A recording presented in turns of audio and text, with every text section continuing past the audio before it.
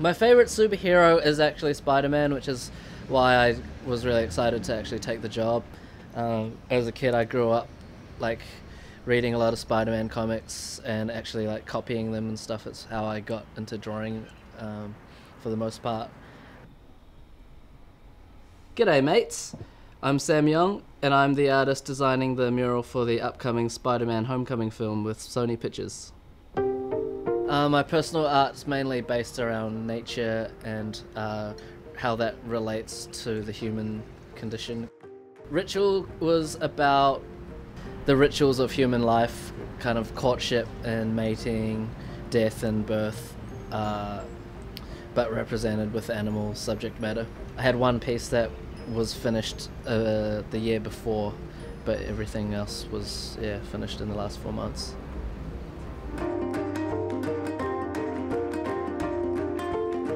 I wanted it to be a, a more of a story rather than bits of um, uh, just bits of images and artwork from the movie slapped together. So I designed it more as a action set piece, um, more like a storyboard, as how I kind of saw a fight go down between Spider-Man and the Vulture.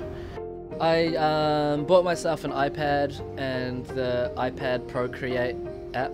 First time using it for this project, which is cool. Uh, painted each character separately and then composited them all in Photoshop.